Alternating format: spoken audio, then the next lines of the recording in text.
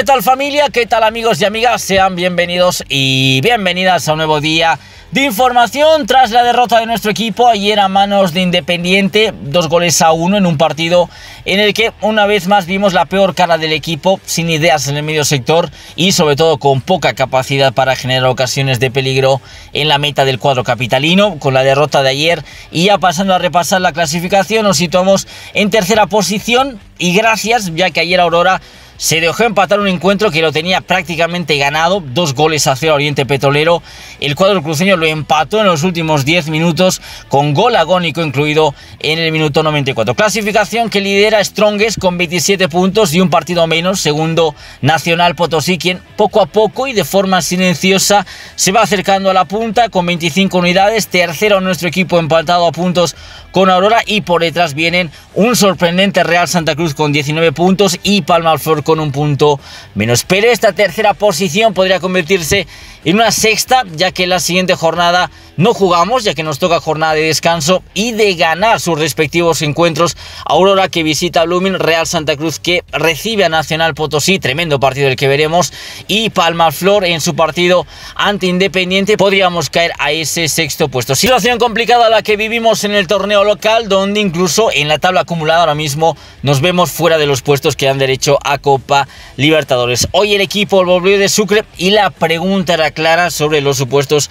actos de indisciplina previos al encuentro ante Independiente. Se había rumoreado durante el fin de semana, incluso se había publicado en distintas páginas que eh, cuatro futbolistas, cuatro jugadores, Tonino Melgar, Lucas Chávez, El Pato Rodríguez y Gabriel Villamil, el día sábado se habían encontrado no precisamente en buenas condiciones. Se le preguntó a mí por esta situación también al Pato Rodríguez y veamos lo que dijeron técnico y jugador de nuestro equipo.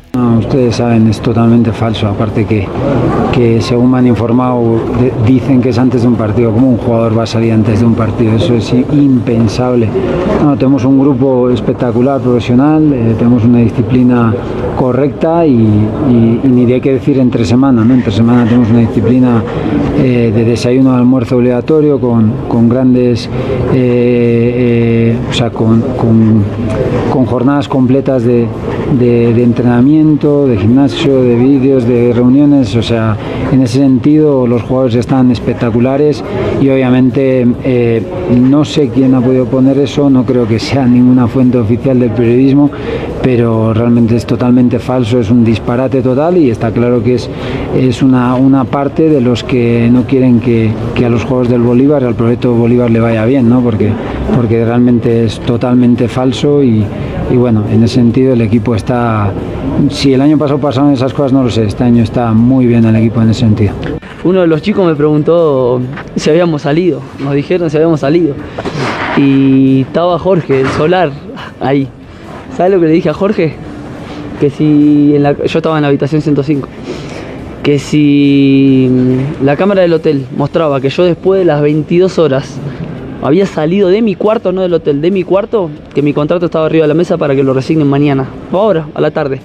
Eh, porque me parece que es una sería una falta de respeto para el club, para la gente y sobre todo para mi familia. Eh, si hay que tener mucho cuidado con los rumores, pues nosotros tenemos familia, entonces yo no tengo ningún problema. La mía no consume, está embarazada, tengo dos nenas chiquitas, tengo una vida bastante austera y todos me conocen. Eh, y llegué a Bolivia como un profesional y me voy a como un profesional. De eso no hay lugar a duda. Después te puede gustar un poquito más o un poquito menos cómo juega un jugador, que esto que el otro. Pero lo que no se puede poner en tela de juicio, nunca, eh, y nunca voy a dar lugar, es al profesionalismo que yo tengo. Adentro, afuera de la cancha, en el vestuario con mis compañeros y el respeto que yo tengo para con Bolívar, para con su gente, para con todos, absolutamente, para con los trabajadores, para con ustedes, que nunca les faltado el respeto. Eh, a mí no me jode, pero siempre agárrensela con los grandes, con nosotros, que tenemos espalda para bancarlo. Pasé situaciones peores que esta y con equipos mucho, mucho más limitados que lo que tenemos hoy. Por eso no me preocupa la situación, pero así nos ocupamos, que es lo más importante.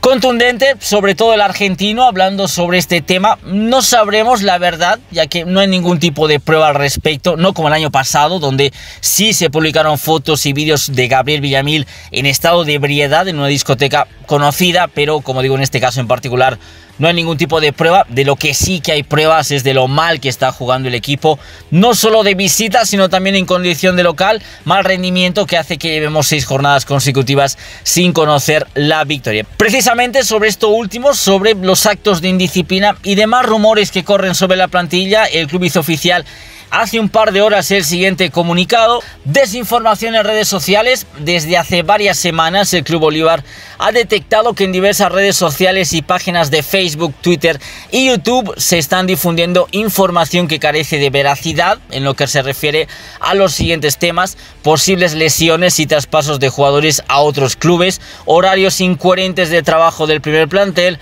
posible indisciplina de parte de nuestros deportistas. Estos bulos son generados por personas ajenas a la institución que buscan desestabilizar el proyecto deportivo que se viene desarrollando en perjuicio de la institución. En este sentido, el club tomará acciones legales para enfrentar enérgicamente la desinformación y el abuso que se difunden.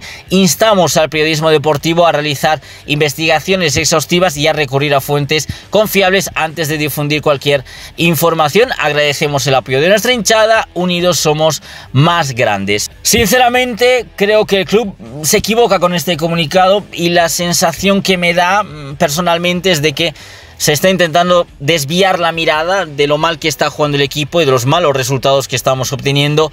Y se está intentando, como digo, desviar la mirada y centrarla en esta problemática de la desinformación en redes sociales y la desinformación en la, en la prensa. Y creo que con este comunicado lo que está haciendo el club es acrecentar más estos rumores y aumentar más la rotura que está viendo entre hinchada y plantilla. En fin, veremos en qué queda toda esta situación. Como digo, creo que el club se equivoca en este aspecto. Y ustedes, querida familia, ¿qué piensan sobre toda esta problemática que como siempre les leo en los comentarios? Ya hasta aquí la actualidad del día de hoy. Mañana estaremos con más información de nuestro querido amado Club Bolívar. No olviden suscribirse, darle me gusta y recuerden, y como siempre digo, bolivarista en las buenas y más bolivarista en las malas. Reciban un fuerte abrazo de su amigo Sentimiento Bolivarista. Adiós.